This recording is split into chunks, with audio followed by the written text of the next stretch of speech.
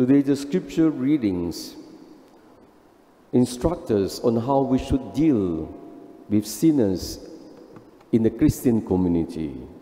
We must be careful because we need to balance the, the question of discipline with the compassion of Jesus.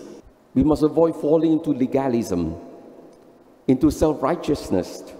In our judgment, the most important principle in considering how we should handle a sinner is whether whatever we do is it for the good of the person, the ultimate good, to save the sinner, not to destroy the sinner.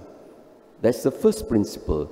Second principle that flows from this is whether the sin that is committed is it of such a great scandal to the community that if unchecked, the community could be threatened.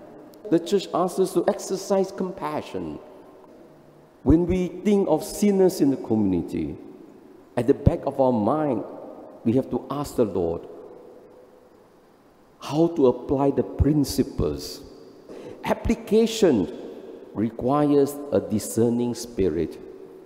Every case is different. Is it the best thing to excommunicate a member? Maybe, maybe not.